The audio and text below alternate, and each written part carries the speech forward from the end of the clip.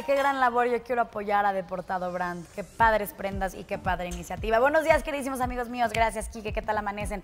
Vamos a hablar ahora de la reciente entrega de los premios Grammy. Registró la teleaudiencia más baja en casi una década de la gran fiesta de la música. Sufrió una caída de 24% respecto al año pasado.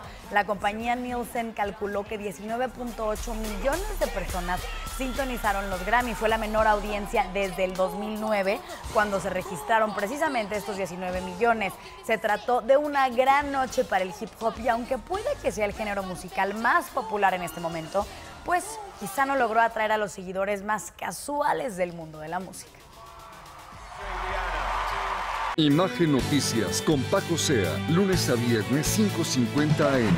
Participa en Imagen Televisión.